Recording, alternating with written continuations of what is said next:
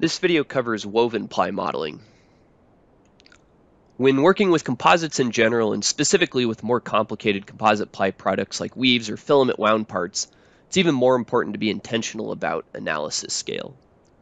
Generally, we classify two composite material model scales, a micro scale, which zooms into the scale of the constituent materials, the matrix and the fiber, and this is where uh, multi-scale designer comes in, and a tow scale, which only zooms into the scale of a single layer of composite tow.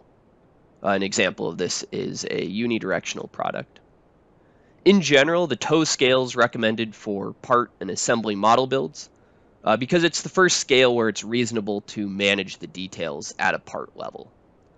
It has the ability to interface with multi-scale material models, and it has the least amount of homogenization through thickness, which makes it easier to assess failure and apply uh, other operations like, like drape simulations. All scales above this uh, use these two material models as building blocks. Uh, one tricky part for us is that many composite products, weaves included, fall into this ply material product scale, where for a given layer in a simulation model, uh, there are actually multiple tows stacked through thickness. For example, in this weave in the image, we have a 0 and 90 tow at all locations in the material. Uh, so in other words, these products can be considered at this scale a mini laminate. Uh, other examples include filament winding, where you have some winding angle, or AFP, where there's overlaps or gaps in the tape. And the challenge is that frequently material models are actually written at this scale. And a very common one, uh, weaves, for example, uh, using a 090, uh, E1 is equal to E2. And moving up uh, further in the dimensional scale, we have laminates made up of one or more plies, and parts and assemblies, which are made up of one or more laminates. Hypermesh supports two woven ply modeling methodologies.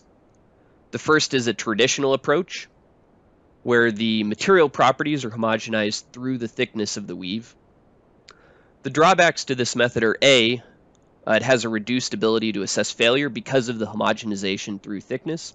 Tow scale results cannot be assessed, and you're always getting some homogenized mix of matrix and fiber, regardless of direction. And while it's possible, it's not generally recommended to uh, connect a multi-scale material at this traditional scale. Further, because the warp and weft is homogenized, a constant angle between them, usually 90 degrees, but not always, is assumed uh, when the material model is written. Uh, frequently, though, uh, we're interested in draping due to compound curvature for weave type products and as soon as the angle between the warp and weft changes, uh, an entirely new anisotropic material must be generated to capture this angle change. Obviously, this is impractical to do for a full part or assembly. Uh, alternative to this traditional approach is a slices approach. It models the warp and weft of the weave uh, both as unidirectional materials. And specifically, the way this is done is with four quarter thickness uh, unidirectional layers, a 0, 90, 90, 0 of a representative uni material model. Note it is possible to account for a reasonable knockdown in uni properties due to the weave.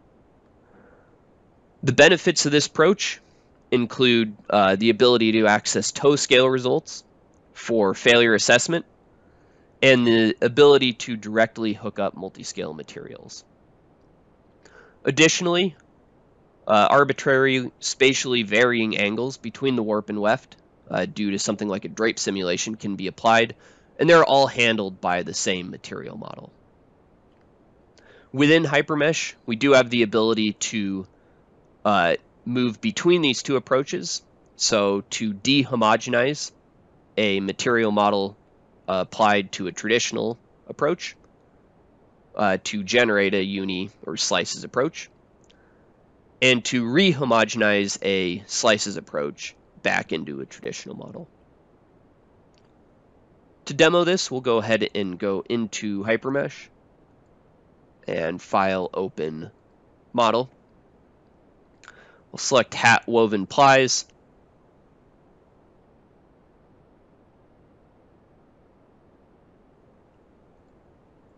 And in this model, we have a few unidirectional uh, carbon plies, but we also have these two homogenized weave plies. The product type is set with this ply type input right here. And if I come to the assigned material, we'll see that it is homogenized with warp and weft at uh, 0 and 90, E1 being equal to E2. I can uh, move back and forth between these two material models if I only, for example, have the properties of the homogenized product, uh, simply by changing the ply type on one or more of these plies. When I attempt to do this, specifically to change it to a unidirectional weave, I'm prompted with a message uh, notifying me that I'm going to get new material properties on my material entity and any other plies which have this assigned material will also be updated to a unidirectional weave. Note that this is only supported today for uh, 2D or MAT8 in the case of OptiStruct properties, not MAT9 ors. That's something uh, which will be done in the future. So when I run this, I see my two plies are changed to uni weave. If I come back to my glass material, we can see that it's dehomogenized into equivalent uni properties.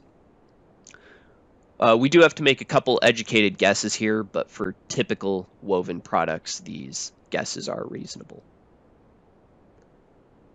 To go back the other direction, simply need to change the ply type back to a homogenized, homogenized weave. I get a similar message prompting me that all plies of this type will be changed to homogenized weave, and the material properties will be updated. And we can see the properties are rehomogenized, and I get very similar uh, rehomogenized values to what I started with. One other note when working with weaves, if I attempt to drape a homogenized weave ply,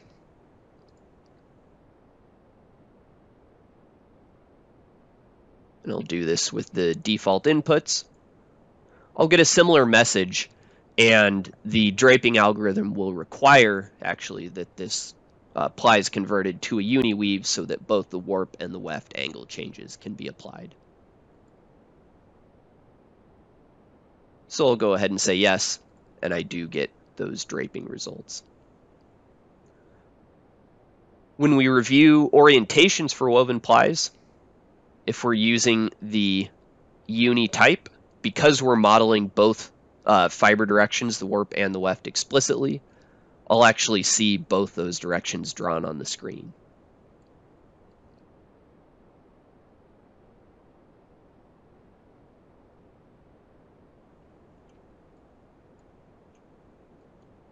And with that, that covers the available woven ply modeling options.